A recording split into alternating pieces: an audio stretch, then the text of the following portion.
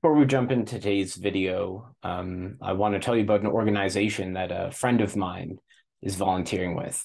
Uh, he's in the Ukraine right now, where the crisis is currently ongoing. Um, the group that he volunteers with is uh, called Shtab Dobra. I hope I'm pronouncing that mostly correctly. Uh, I'm going to put all of their information, Facebook, Instagram, ways to donate down below. In short, um, the main focus of this is to help field medics and soldiers that work in the front lines uh, in the east and south of Ukraine. Uh, the team supplies medics with everything they need to save lives medical drugs equipment diesel generators communication devices. They repair cars. Sometimes they buy used cars uh, from europe and make them work.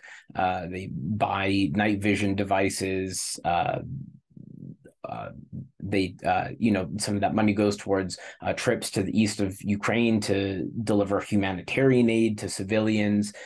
Many of you know the a lot of supply chains have been cut uh, since the war and even they've done some evacuating of of civilians from uh, dangerous areas if they agree to leave. Um, and one of the things with donating to one of these smaller organizations is that uh, it's more can be more effective than you know the the big uh, organizations such as Red Cross and whatnot. I myself have you know worked for um, charitable organizations. I know how much money goes to overhead, and uh, especially with these larger ones, you know, there's been scandals in the media recently. So uh, I hope that you consider uh, if you're able to uh, contributing to this cause and uh, supporting everyone in the Ukraine. Hello, everybody, and uh, welcome to the next uh, Math Talk episode. Uh, today, I'm really glad to be joined with Dr. Andrej Bauer, uh, who's at the University of Lub- Ljubljana. Did I say Ljubljana, that? yes. Hi, hello. Yeah, so uh, I, I, suppose you just want to give a, a brief introduction uh, to some of our guests who who may not be familiar with some of the things that you currently are working on. Uh, yeah, so I have been involved with various things surrounded uh, surrounding type theory uh, in the recent years, uh, in particular homotopy type theory and uh, proof assistants. Um, I've uh, thought about how proof assistants work, how they should work, and so on. That's all related to type theory, and before that, homotopy type theory. Um, earlier, with my PhD, I studied uh, computability in topology and analysis and, and, and constructive mathematics, and constructive mathematics is still something that I do. Excellent, excellent. So yeah, I normally like to uh, after the brief introduction, I like to take things all the way back, and and the first question I'd like to start with is, uh, how did you first come to mathematics? Like, what did it take a while, or did you just always have a knack for it at a, a young age? Were there any like big influences in terms of people or events that that uh, led you to math in the first place? I I was always interested in natural sciences, and then uh, when I was around ten, math really got me. Mm-hmm. And I, without a doubt, the most important influence is my dad, because he was also very good at math at school in school. But uh, he wanted to be a math teacher, but he never had the chance to become one. Ah. So he always he would always uh, tutor various uh, daughters and sons of uh, friends and my cousins and so on. And um, they would be sitting in our kitchen and i was just running around. And i think by osmosis i was picking right. up math. Ah that's great. And, that's great. Yeah. yeah and then so uh, i guess by the time it came uh, when it came time to go to university you already decided you wanted to do mathematics. Um, and then what was sort of the the process that led you towards um, constructive mathematics and and thinking about like uh, i think you mentioned like computable topological problems? Yes. So uh, actually i uh, when I was in, in uh, when I was when I studied math in Ljubljana at the undergraduate level, I got really interested in topology, and my undergrad thesis was in geometric topology. Uh, but then um, a professor of mine, Marko Petkovšek, who was a uh, who got his uh, PhD from Carnegie Mellon University, suggested that I apply there, and so I did, and I was very lucky to become a student of Dana Scott's, and uh, he was he's a big name in um, in uh, constructive math and and uh, um, other topics. And uh, during my uh, PhD, when I studied uh, how to computability in topology and analysis, that is to say, how to compute with things like points of a topological space rather than just discrete data. Um, that turned out to be related to uh, constructive math, and that's how I got to know more about constructive math. Oh, interesting, interesting. And then so that uh, so so uh, when uh, you first uh, I guess when you graduated with your PhD, you had a little bit of experience with constructive mathematics. Um, but uh, I suppose uh, when did the the notion of uh, when did you get introduced to proof assistants and and homotopy type theory? Okay, so yeah, so that was a bit later. It must have been around 2009 or 10 uh, there is a blog post on my blog. I think it might actually be the first one where I uh, posted something about um, um, formalizing some proofs uh, in, in, in Coq. Uh, and uh, at some point, I decided it was time to learn one of these tools. And so mm. um, it was an interesting experience, uh, but uh, that's that's when I did it. And I, I, think I think I wanted to show some uh, proof extraction from proofs. That's why I needed it. Mm. Um, how to how to extract a particular kind of functional program from a proof by induction, where you ah. want to. I think I think it was you want to have memoization, which is a technique in uh, in, in, in programming where you uh, sort of cache results that you've already computed. I wanted to have an, a proof of in, proof by induction that did that when you extracted the proof, uh, the program from the proof. So, and so, so I, I, I wanted you to learn. very much motivated by like a, a pretty hands-on, pretty concrete problem. Uh, oh, I very, I, it, or yeah so in a way in a way some of the things that i study are abstract but on the other hand I, I, at least i personally always see a very straight path to to something to something concrete in in, in some sense. So either usually it's has usually it has something to do with computer science right, right. computing with topological spaces uh, that has a very clear motivation. You want to have a program and you know you stick in an element of some crazy space and you want to compute with it. You don't want to have to manually first figure out how you're going to represent it right you right. want to do it abstractly directly and so on right. Um, right. but but i've learned i think i learned this lesson probably at cmu where the entire um, uh, programming language group uh, was working at a certain level of abstraction which which I, I think i learned that it's it's valuable to to think even about concrete things in in in a certain abstract way that, because that can have a, a lot of good uh, effects uh, later on so oh one other thing i should mention i work on is uh, programming languages of course um, mm. Uh, computational effects um, that's that's uh, i'm not so active in that now but definitely uh, it's an area that i'm interested in also theory of programming languages Oh, okay. Uh, I actually, uh, yeah, I wasn't. Uh, I'm not as familiar with with uh, some of your work in that area. Uh, could you say a little bit more about like so what what uh, typical research in different programming languages look like? Typically looks like.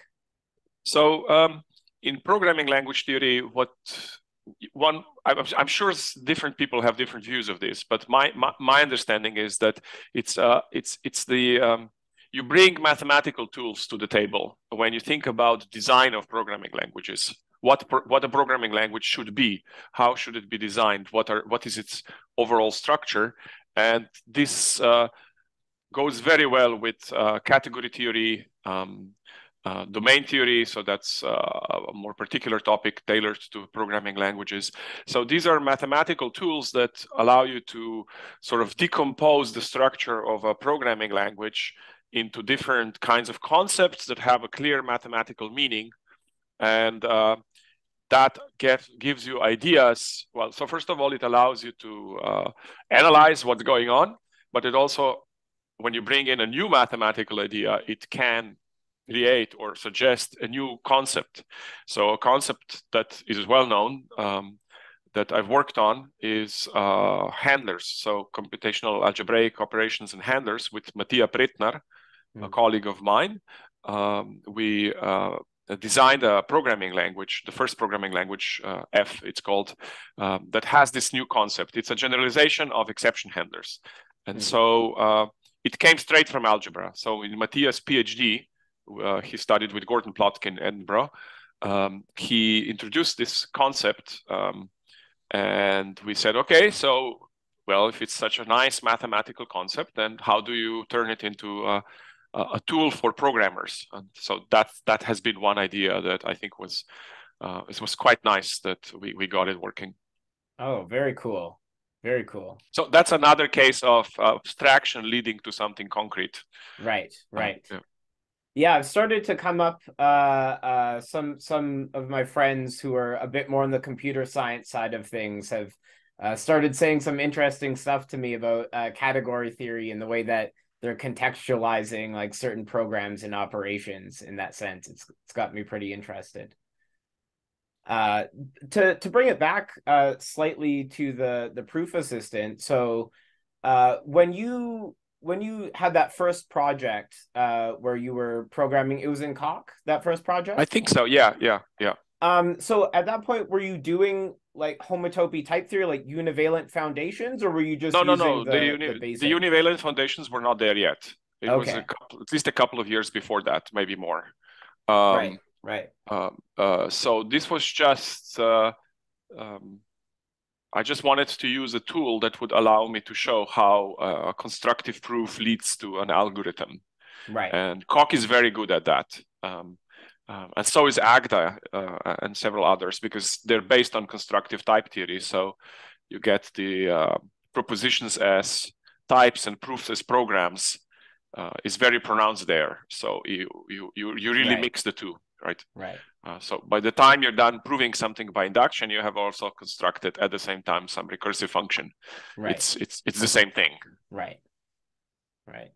Yeah, I actually I don't have any experience with Agda, but I went to a, a summer school this year where I learned uh, some programming in Coq along with homotopy type theory. Oh, the online one? Uh, uh no, or, this was uh, in Cortona, uh, Italy, ah, okay. actually. Uh-huh, yeah. uh-huh, cool. Very cool. Yeah. Yep. Yeah, that yep. was lovely conference. Lovely conference. Yeah.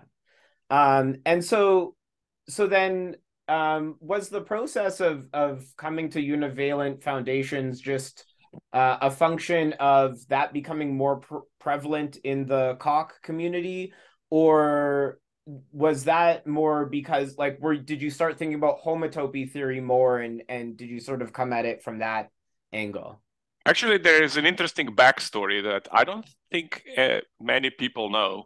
Um, so when I was a postdoc at the Mittag-Leffler Institute in Stockholm, that was in uh, 2001.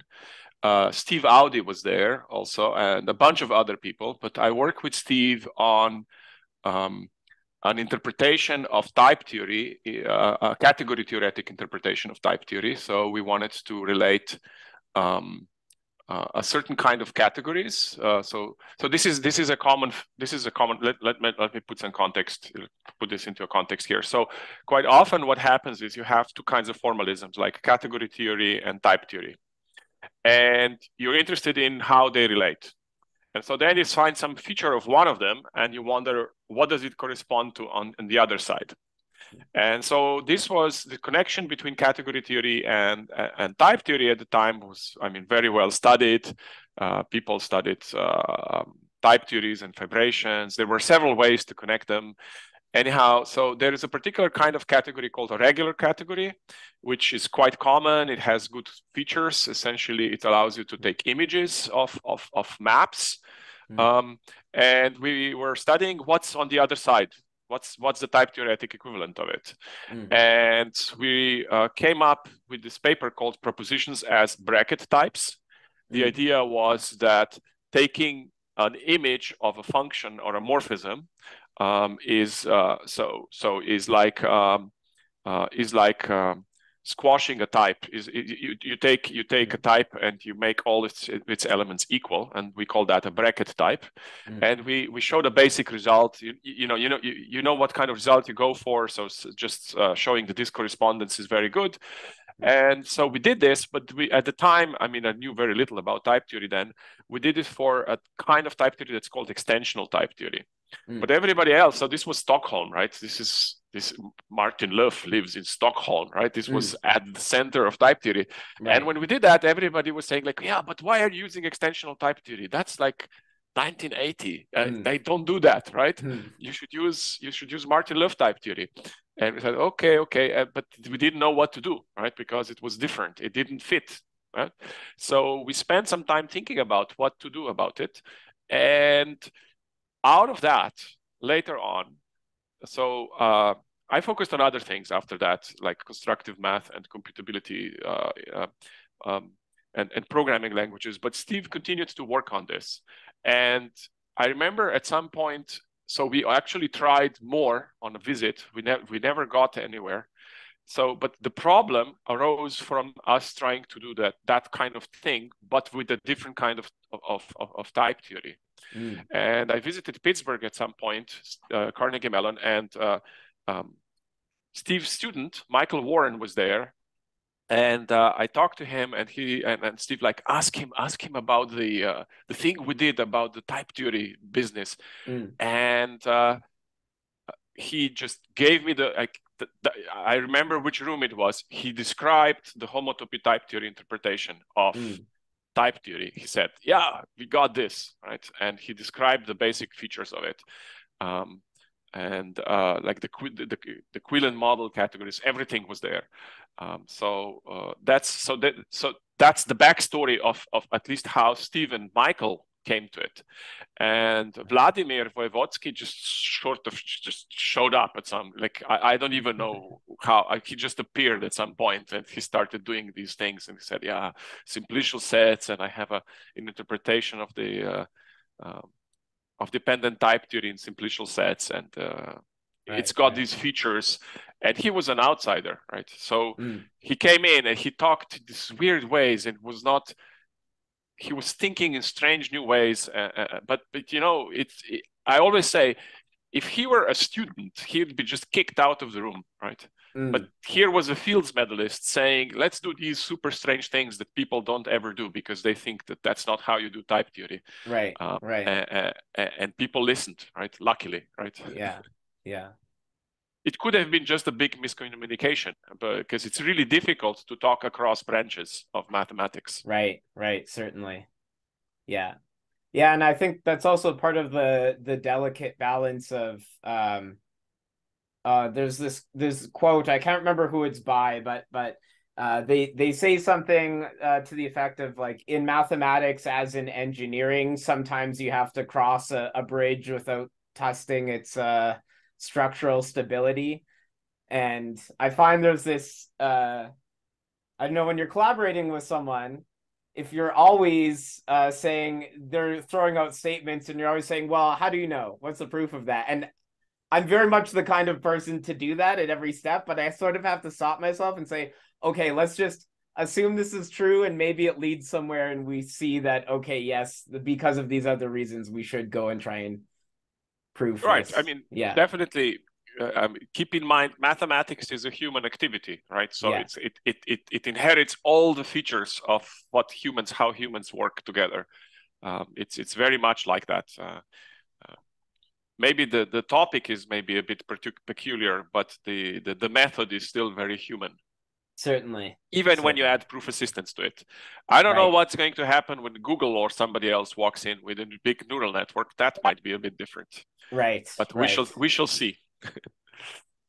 yeah, it's uh definitely interesting to to see what will happen. I I think some people have already started uh playing around with that. Uh, they haven't gotten, you know, too too far, but uh as yeah, pe- people are already trying to make some moves towards it. Oh yeah, I think there are several groups working on on using um, AI methods and machine learning in in proof assistants. Um, I think we really need to try keep trying because the potential that this sort of thing has is enormous. So uh, you know, AlphaZero changed, and even before that, Stockfish and the other programs, they changed chess, right? Yeah. So Deep Blue was the first one, the IBM machine that beat Kasparov in the 90s. Um, it transformed chess, but it transformed it for the better. Uh, mm. Chess is not; it has never been so popular as it is now, with the, in the yeah. combination with the internet and everything.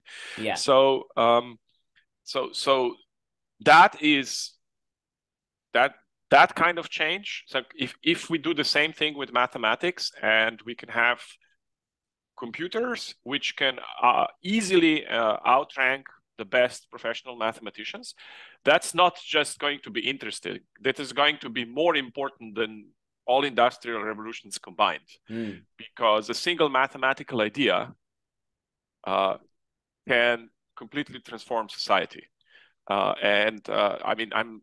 It sounds very pompous, but I if, if you look at history, there, there, are lots of examples of that.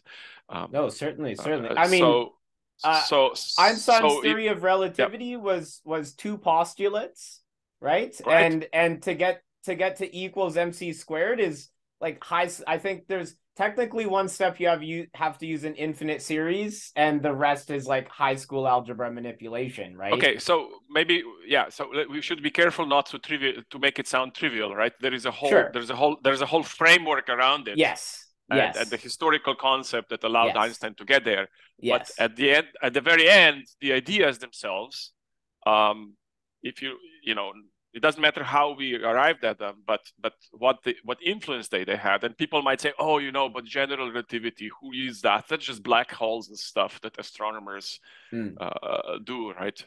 Uh, um, well, but but in fact, study. so I, I brought but, this example. But, but right, but there are real uses, right? General relativity is used in the G in in the in GPS.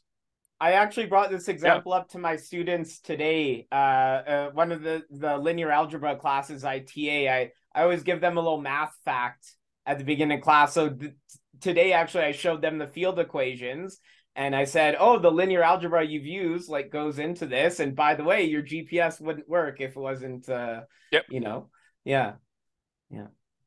And even something ridiculous like prime numbers, which ever since like even the Greeks, ancient Greek, they they were very much interested in prime numbers, and mathematicians always studied prime numbers, and what were they good like they're not good for anything right right like, who cares about prime numbers why would right. you want to know about them but the moment the rsa uh, algorithm got used on the internet to yeah. perform uh, online commerce right within two years all living mathematicians ever sort of they were their salaries their, their, salaries were compensated yeah. by the society right? When when that happened yeah. right?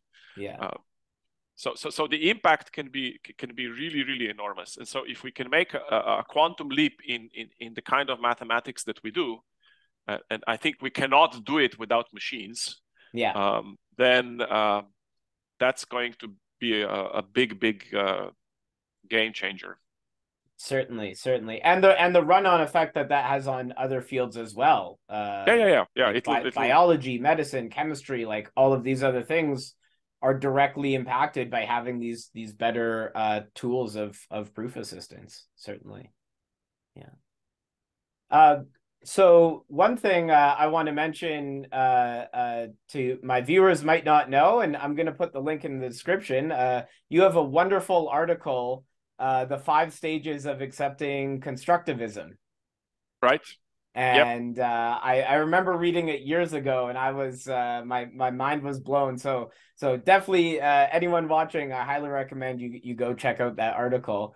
Uh, but to talk maybe a bit more about constructivism, uh, I guess what are what are sort of your views on constructivism? Would you would you say you're a maybe a staunch constructivist? Do you you think more mathematicians should be embracing this idea? Uh, if so, or if if not, uh, why? So I have a blog post titled "I am not a constructivist," mm. in which I explain that uh, I really. So you see, if you say uh, so, at least in in in the constructive mathematics waters, the uh, the word constructivist carries a, lot, a certain connotation. It means not only are you a constructive mathematician, you're also uh, an adherent to the philosophy that brought constructive uh, mathematics about.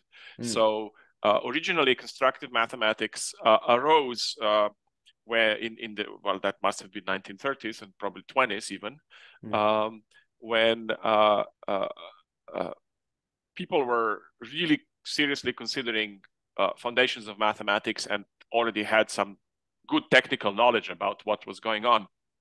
And uh, uh, at least originally constructive mathematics was uh, very tightly linked with Brouwer's ideas, and he had uh, he had a like he was he was coming from a philosophical angle on how he viewed mathematics, uh, like what is mathematics. Um, but later on, uh, constructive mathematics turned out to be uh, to, to be quite useful in several areas, you know, computer science, this, that, like uh, Sheaf, uh, certain kinds of math. And so the newer generations of, of, of constructive mathematicians, which is more of a neutral term here, mm. um, people who do constructive mathematics, they're not they're not tied, they're not subscribed necessarily to the philosophy. Mm. And I'm one of them because the way I got to constructive mathematics was by studying how do we compute with topological spaces, and that naturally led me to uh, well, first of all, uh, figuring out what are the models, uh, what are, what what what what kind of a category do I need so that it supports both topological spaces and computability. That that was the topic of my uh, of my uh, PhD, and then it turn as it turns out that category naturally lends itself to constructive thinking and constructive mathematics, mm-hmm. and so that's how it got in. So it, it it's first for, for at least for for in my experience I, I got to it because it was useful for what mm. I was trying to do. Mm. And we know that it is useful in other cases. Uh, it is useful also in certain kinds of geometry where you're working with sheaves, and then the sheaves again support uh, constructive reasoning, uh, mm. but it's of a geometric kind there. It's not about computability, it's about uh, features of geometry. Mm. And so I think the modern view that uh, uh, is is not that constructive mathematics is something one should do uh, because one's personal belief of mathematics is such and such, but because it is just mathematics that is more general and therefore more applicable in certain mm. kinds of situations. Now, not mm. everybody is going to use categories of sheaves and do right. funky stuff, you know. But if you are in an area where it can be useful, then um, then it's a tool. It's it's a really useful mathematical tool. And as tools go, um, history is full of this.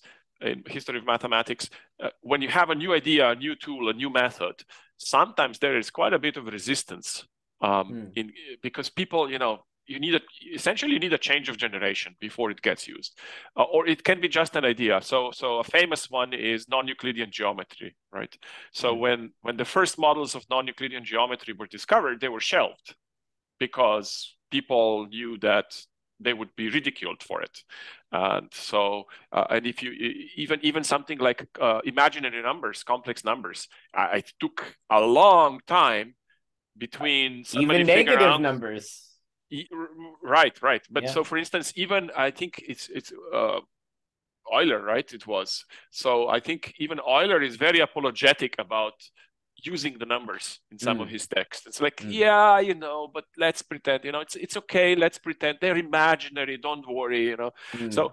Uh, the name fits the numbers. I mean, the hist- the name imaginary number is there because of its history. So um, I think so. What am I trying to say? What I'm trying to say is that this divide between constructive and non-constructive mm. is is burdened again by human activity.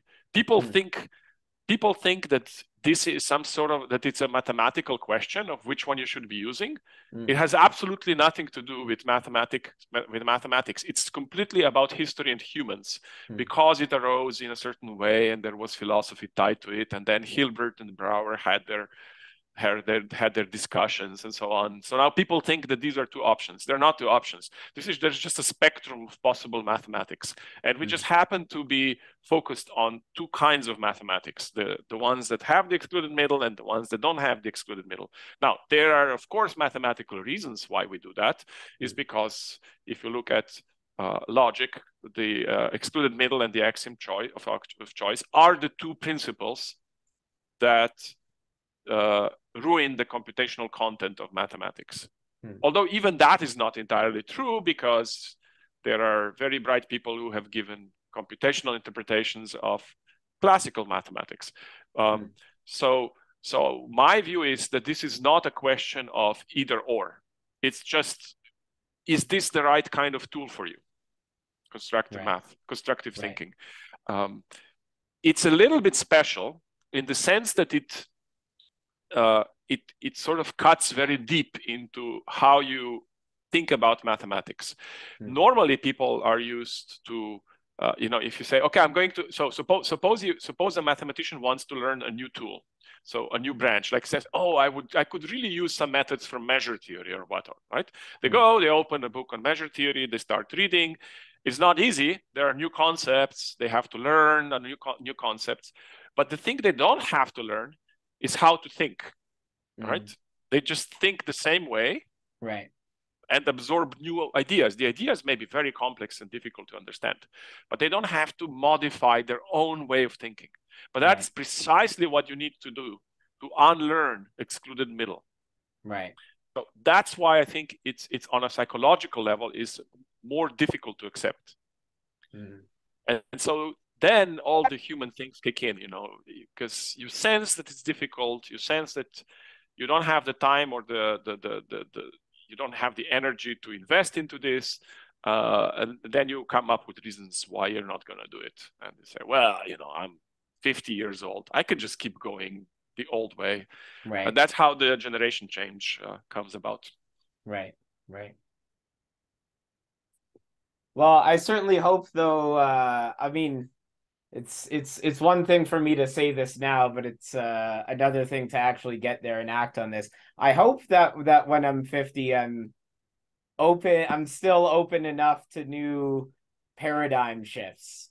Uh you know i think i think that sort of keeps you keeps you active keeps you young but uh uh well maybe maybe by then i'll be too tired of revolutionary new ideas and i'll be happy to just stick with the same thing well, speaking from my own personal experience, I think it's the bit where you get tired that you have to worry about. It's mm. nothing else. It's mm. you sort of say like, "Oh, not again. I don't. I don't need this." Right. right? and you find something interesting, something, something, something in, uh, else in life that's that, that that you can do.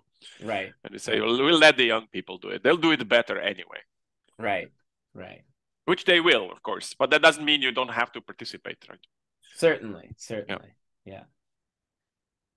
So uh, you've you've mostly um, uh, bringing things back a bit to proof assistants. You've you've mostly uh, worked in Coq and and Agda. It sounds like. Uh, so yeah, initially I worked in Coq and the homotopy type theory library, the HoTT library is uh, uh, which we initiated at the Institute for Advanced Study at the same time as the HoTT book uh, that one's also written in Coq.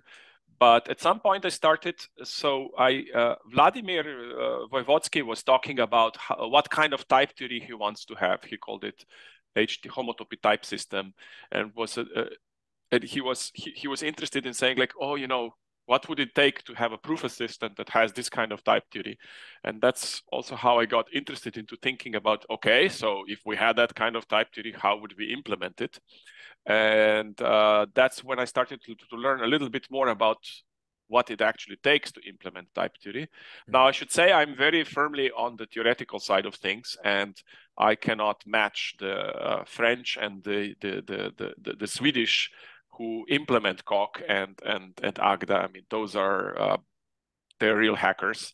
Mm. Um, but anyway, I dabbed in this a little bit, uh, also to bring in some ideas from programming language theory on how you could use, how you could design um, a proof assistant. You see, because in a way, a proof assistant is a programming language. It's mm. a it's it's it's mm. a formal it's a formal syntax that you use to convince the computer to do something. So in this sense, it's a programming language. Mm. It'll do whatever you instruct it to do. So I felt like there could be ways of uh, using ideas from programming languages.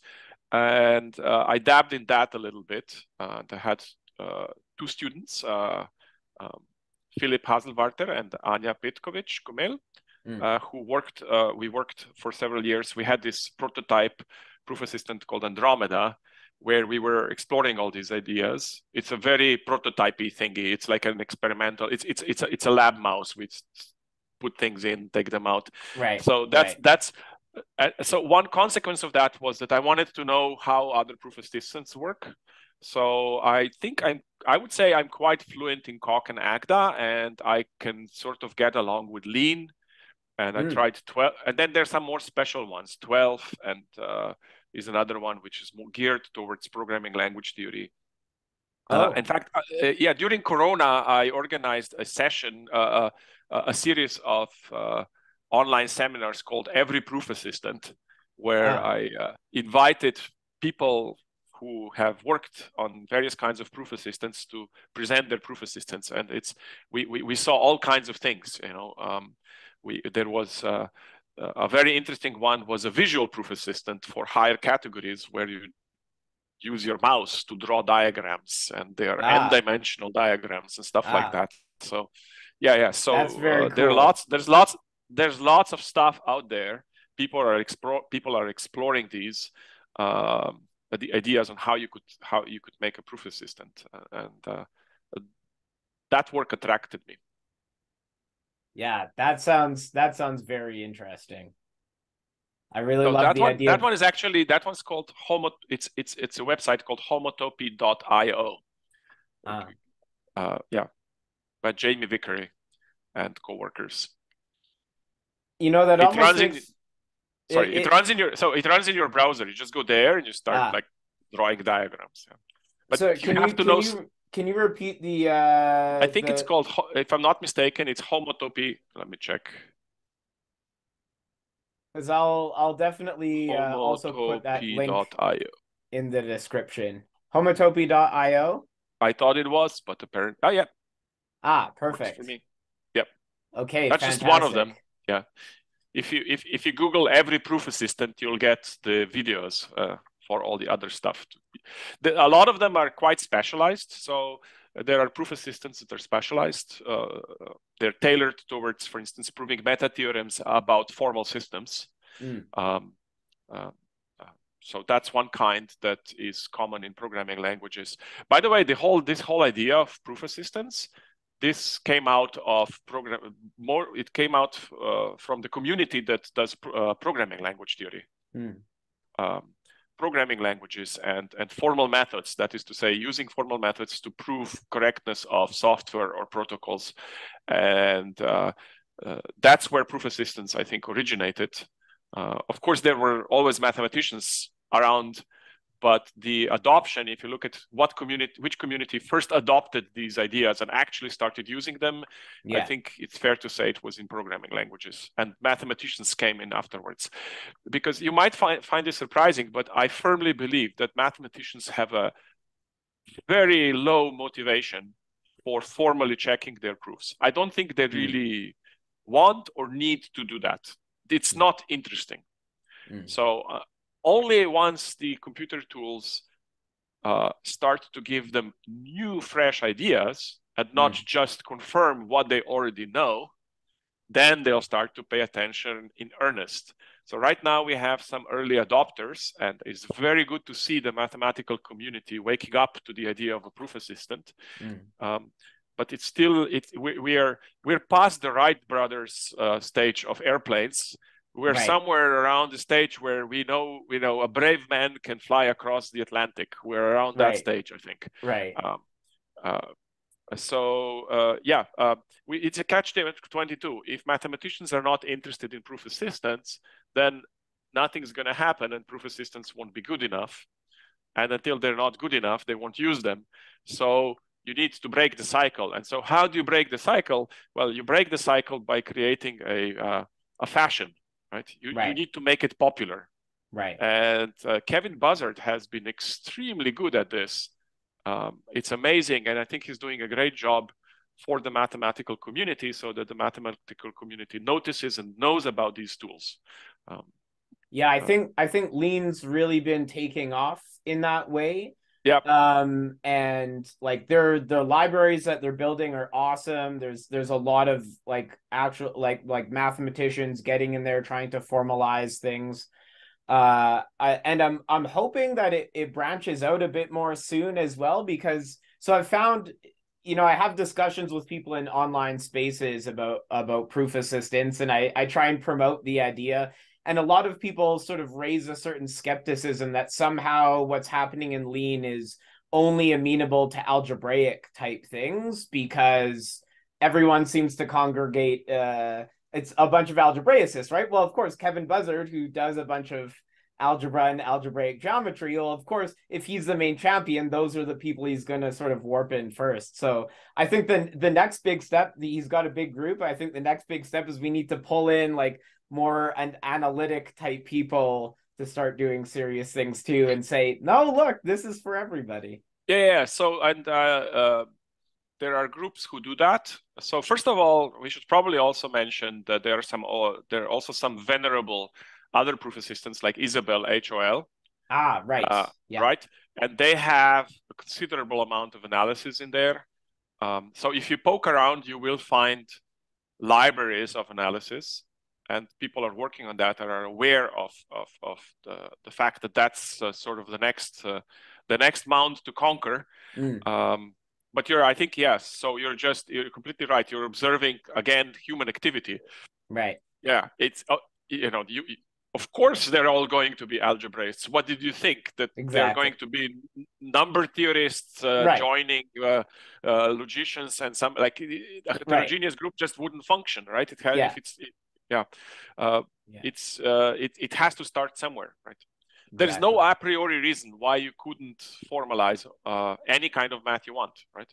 What will happen though is that when you try to formalize new kind of math Mm. or just a new topic, that you, you will have to think seriously about how to do that, and it is Mm. very likely that you will need to reorganize and remodify some of the uh, ideas on uh, the concepts and the ideas, um, because you will discover that, for instance, there is some implicit knowledge in the way they do their branch of math, but they they're not aware of it. So, by the way, this is a very common feature of formalization, is it brings out to light the implicit knowledge that mathematicians have and communicate and uh, pass on that is not written anywhere.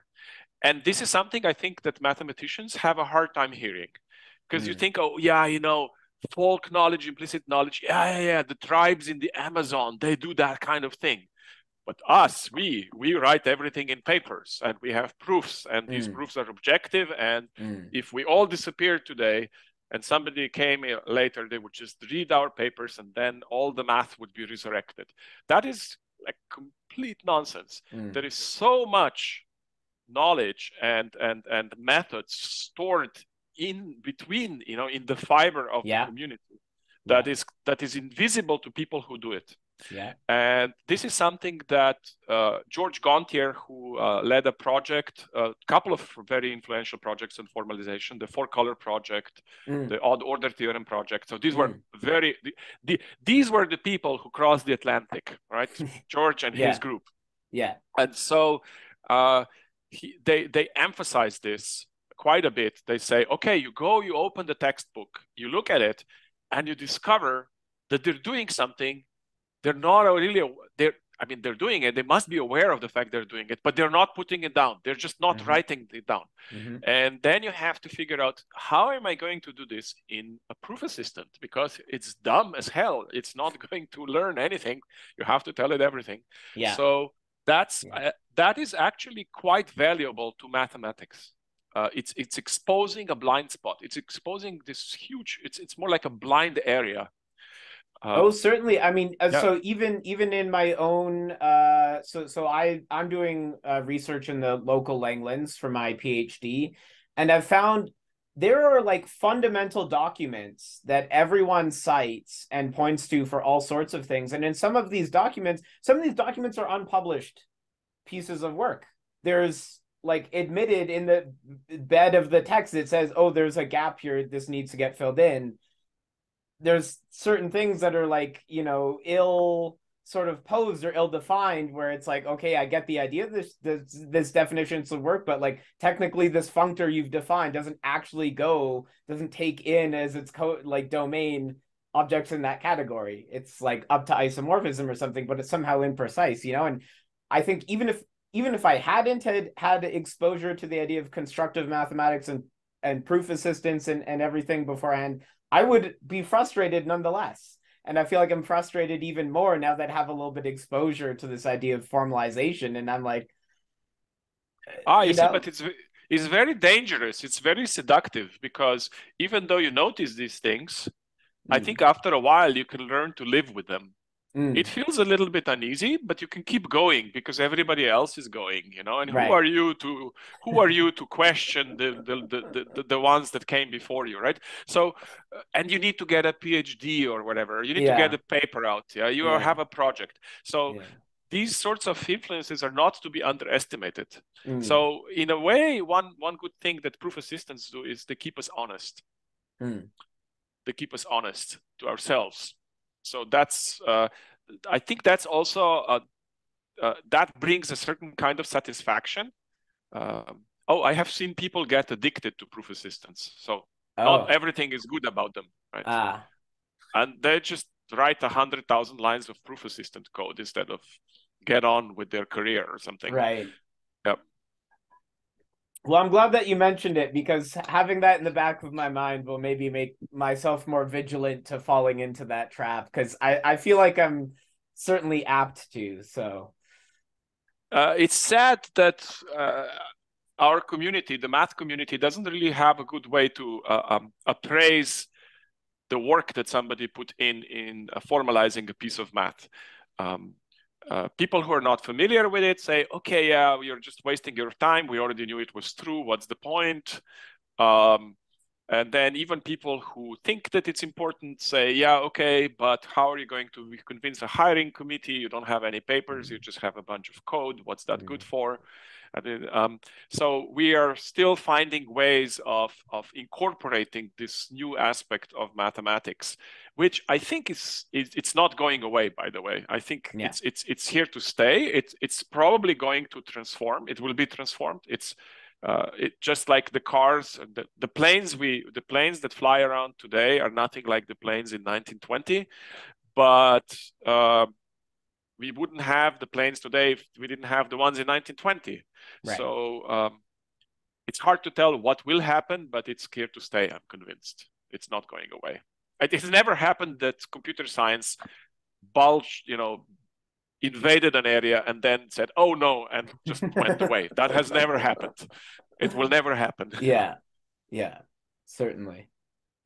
Uh, so one thing I do want to ask you, since uh, you mentioned earlier that you, that you spent some time thinking about what make like what goes into making a proof assistant, um, what do you think are some of the hurdles? So, so of course, like you mentioned, in order to have proof assistants widely adapted, like we need something that is, uh, well, one I think very user friendly right? Like if we're going to convince mathematicians in general to do this, it should be no harder for them to pick up than LaTeX, right? They should be able to just like on any system download a file, print hello world right away and and, and get to work. So, um what are some of the things that you think would go in like do you think any of the proof assistants that exist now are could become like the dominant could become like the proof assistant that becomes widely adopted or do you think there's going to be future generations and, and what might go into those proof assistants that that might become like the LaTeX of of the future? Okay so to first uh, answer the last question you're asking about uh, uh, a market where you have several products competing. Right. And which one is going to be the dominant one? And the answer is probably not the best one Mm. Uh, you look at uh, car technology, operating systems, phones, uh, mobile phone technology. Is there a reason that one of them is dominant? Well, sometimes it's because it was the first one. Sometimes it was because the co- the company that, that that produced it was knew how to how to get it to out, you know everywhere, or maybe it even used the monopoly or something. So mm. these sorts of marketing forces will determine but these are marketing forces in in in in the sphere of social interaction between mm. mathematicians. They will determine what is dominant. I don't think it will be of course quality will be play uh, will play a role but it's not at all given that the best product will win. It will be the product that is best positioned at a certain point. Um, right. so i think that's just something that is going to happen. Uh, the way the way to counter that is to simply have several proof assistants to have several tools. So I always say it's not important that we make one good proof assistant. It's important that we learn how to make proof assistants. Mm. Right? It's important that we have car technology, not that we have a particular brand of a car. Right. Right? We, we care about having electric cars, not just electric cars with such and such name written right. on it. Right. And um, so that's important. Even uh, and and sim- it goes similarly with formalization. By the way, it's not important that we make one ultimate formalization library of mathematics that contains all of mathematics. That's just, I mean, of course we're going to have huge libraries, but right. is we're going to have more than one because I can't imagine. First of all, I can't imagine mathematicians agreeing on everything so that they'll just mm. have one. That's impossible. But also, yeah. it's just not how things are going to work. So yeah. the important thing, what you want to do is you want to be in a position where, say, uh, a grad student investing one year of work can produce as much as I don't know Kevin Buzzard and everybody around him in a mm. year right? You want the productivity to go up. Right. That's where we should go.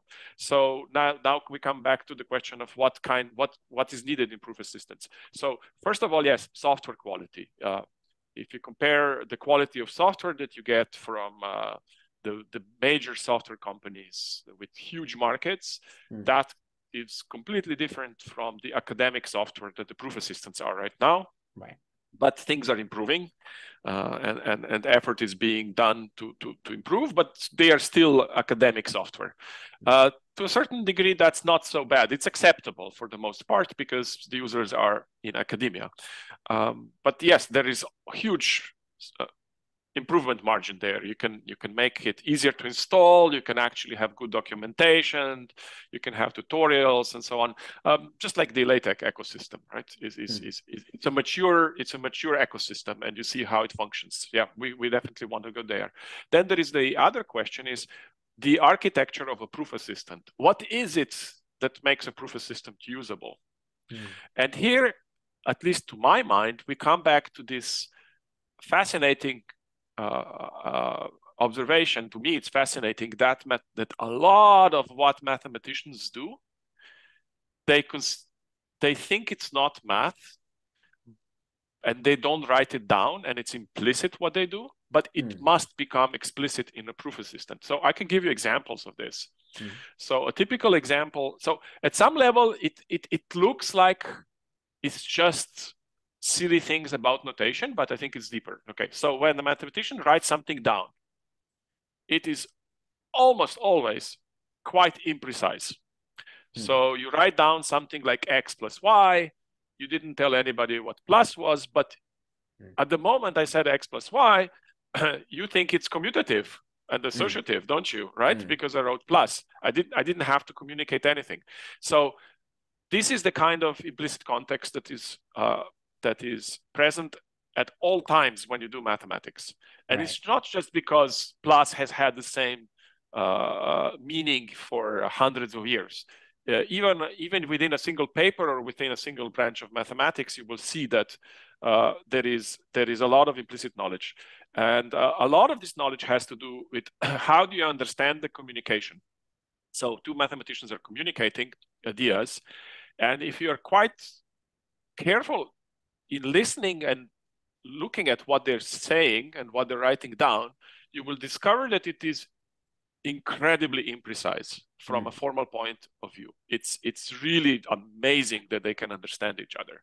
They write these like bad diagrams that with the arrows they don't even they don't the arrows even don't they don't go anywhere and they still understand each other. But even when they make themselves more uh, more understood, like in a paper, when they write a paper and they try to be more precise, they're still very imprecise. So you can right. ask, well, what do what is there that makes the man how how do they understand this imprecise communication hmm. and the answer is well each one of them is running in their head some way of making sense of whatever is being communicated hmm. and then you can ask is there a corresponding part in a proof assistant because typically a proof assistant has a lot of components, only one of it, only one minor easy component of a proof assistant is the part that actually checks the math. That mm. one is really easy in a way. Once you've figured out what the formal math is, and you have the formal statement completely resolved with all the details put in, it's actually not that difficult to verify that it is correct. And that's usually what goes in the so-called kernel of a proof assistant, the trusted mm. core, the, the, the, thing that absolutely has to be correct. It's the your last defense, right? And uh, that one, that one, that one is okay. The a much more interesting part is everything else that goes around. So First, there are things which are well understood, like syntax. How do I make, how do I allow mathematicians to use their funny syntax so they can write things like less than or equal and use UTF-8 mm. characters and so on. That's that's a technicality in a way because that's parsing and syntax and that's 1960s or something like that. Mm. Um, but then there are new things which I find fascinating. Type classes. Everybody knows about type classes. Mm. What are type classes? Well, type classes are in fact, little Prolog programs that tell you how to figure out what the missing, what they, they tell you ways of guessing what the missing information is. Mm. So when you say X plus Y, how does a proof assistant understand this?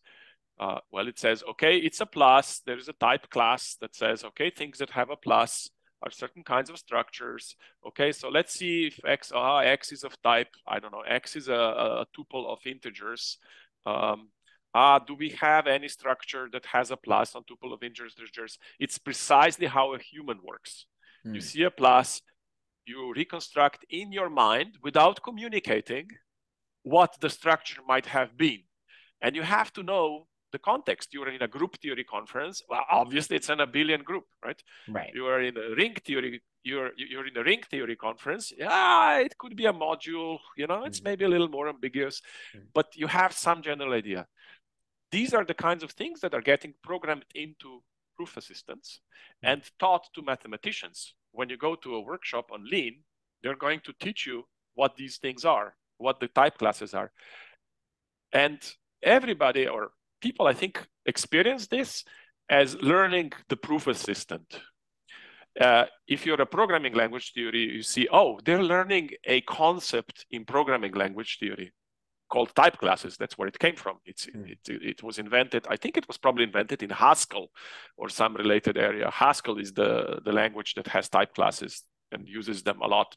So you say, ah, oh, mathematicians, it's so nice. They're beginning to uh, use uh, advanced programming concepts. They just, just don't know it. But I think it's fair to say that this is the formalization of the implicit knowledge that we never formalized or noticed. Hmm. So it's math as far as I'm concerned, it's just another kind of math. It's it's it's a completely new math. It's not about it's not about mathematical statements. It's not about mathematical proofs. It's about the mathematical method. Hmm. It's the mathematics of the mathematical method of the community of the, or even more precisely of how you understand the communi- the mathematical communication. And it's the mathematics of that. Just like logic is the mathematics of mathematics, but just a hmm. certain part of how do you establish truth? How do you express uh, um, basic ideas? And I think we're learning with through proof assistants, we're learning that there are these huge swaths of mathematics which are just there waiting to be formalized. Hmm. And what is uh, maybe interesting is if who formalized them? You say like who who are these people who are doing who who came up with these ideas? Programming language theorists Hmm. They came up with type classes, right? And then they had a hammer and they said, "Oh, look, boom, boom, boom!" Right? Mathematicians need this. Right. Uh, let's let's feed them the type classes. So we need to stop, reflect, as mathematicians, and say, "Okay, if programming language theorists can come up with this stuff, we can probably come up with something even better." And that's going to be the next generation of proof assistants. But they need to be even aware of the problem in order to solve it. Well, hopefully, hopefully, uh, the the course of this discussion has uh, uh, will will bring awareness to some new viewers who uh, weren't exposed to these ideas before. Oh, I'm sure that there are a lot of people in the proof assistant community and uh, you know developers who who who are familiar with these ideas and uh, they know precisely what oh yeah I, I, I meant the people who aren't part of that community. Ah yes ho- yes hopefully yes. yes this video will reach some of them and, right uh, right. If you're yeah. a mathematician learning about type classes this is not just some stuff that came from haskell. This is mathematics you were never told about but it's in your brain. You're already using it in everyday life when you do math. You precisely you do something that's quite close to type classes by the way why is it that so this is something that must happen by necessity. Proof assistants are meant to be used by humans. Therefore proof assistants will adapt to the way humans do mathematics. Hmm. but because they are programs and they're formal this is going to modify it'll it'll you will have to you will have to take whatever the humans are doing right mostly uh, ugly so these are uh, ugly bags of mostly water that's Mm. that's a famous author put it once and they will have to make mathematical or at least formal sense of it and so Mm. that's going to bring something new because whenever you have a new idea that is pre-mathematical and you make it mathematical something exciting happens Mm. every single time That actually reminds me uh, uh, of one one comment I wanted to make uh, earlier because you brought up the uh, the point of chess and and AlphaGo and Stockfish. Uh, so one thing that's interesting, there's a, a chess YouTuber I follow, Gotham Chess, and he sometimes what's that? who doesn't Yeah, yeah, yeah. He's he's got like millions of viewers, but uh, Uh, yeah yeah I I love his videos where he dives into some of the AlphaGo games, and it's so interesting, right? Because it's a total like machine learning uh, algorithm pumping this out, but then to take this and to retroactively go back and retroactively come up with this sort of explanation after it's been played out, and and it makes me excited for how that will look uh, when we get to that point with mathematics and how uh, will the, you know the a the machine learning algorithms will give us these things and then now there'll be a new art of interpreting that back into a sensible context Right. So this will be a new milestone, a machine defining a new important concept in mathematics certainly yeah i'm looking forward to it that humans that humans can understand. Right? yes And after that will come all those other concepts humans cannot understand. right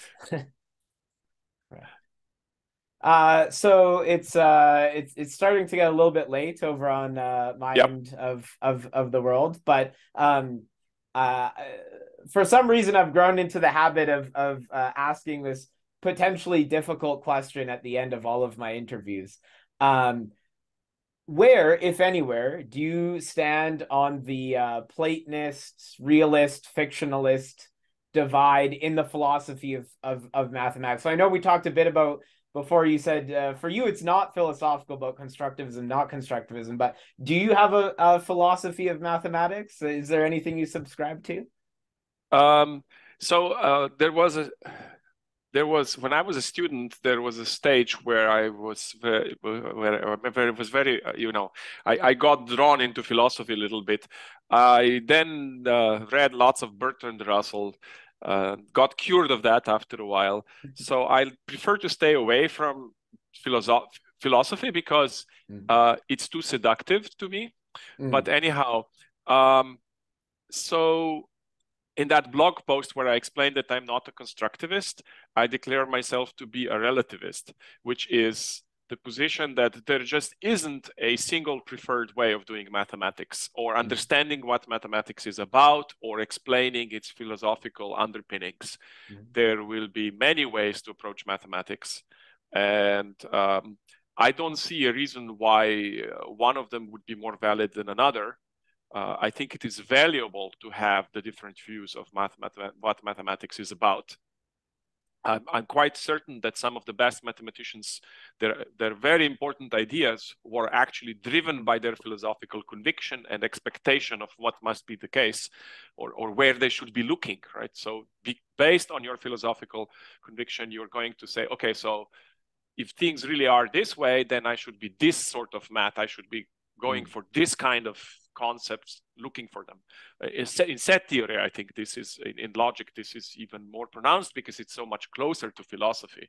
Mm. So um, that's uh, that would be so. My answer is, as you see, is is, is thoroughly relativist. It's mm. it's that I, I just I just find the plurality of mathematical thought and of the plurality of mathematical philosophy a good thing and I try to understand these positions, the different positions, but I have a hard time believing that one of them is objectively better than another. I think these are going to be subjective, essentially subjective positions. Um, people's nature, upbringing, character will hmm. influence mm. what kind of mathematics um, they um, uh, what kind of what kind of philosophy of mathematics they find uh, uh, more um, uh, more convincing, right? right? So it's it's it's a bit like it's a bit like uh, the political spectrum.